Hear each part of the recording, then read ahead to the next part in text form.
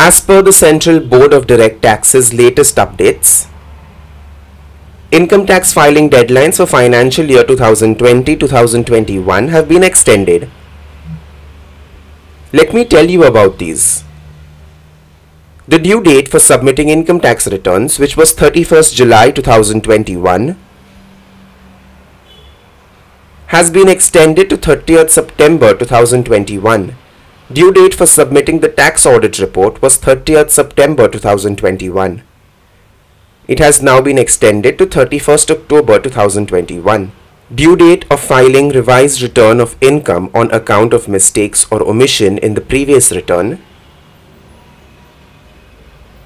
was 31st December 2021 this has now been extended to 31st January 2022. Due date of transfer pricing study report extended to November 30th.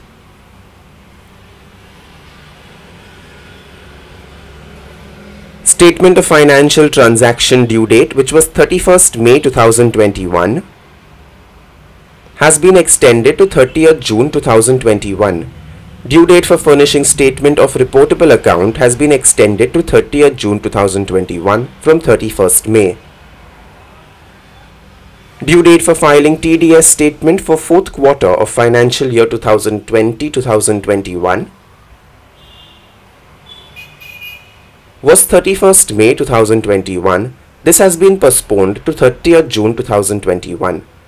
Last date of issuing Form 16 was 15th June it has been extended by a month to July 15th. The Income Tax Department has said the income tax portal will be unavailable starting from June 1st to June 6th. This is because they will now be launching a new e-filing portal on June 7th.